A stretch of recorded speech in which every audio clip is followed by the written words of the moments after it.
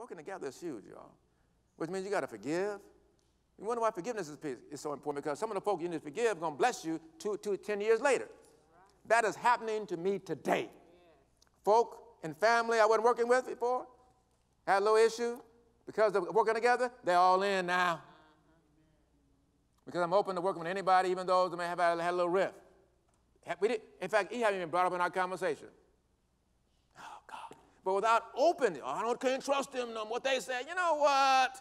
God is bigger than that. He's bigger than that. We need one another.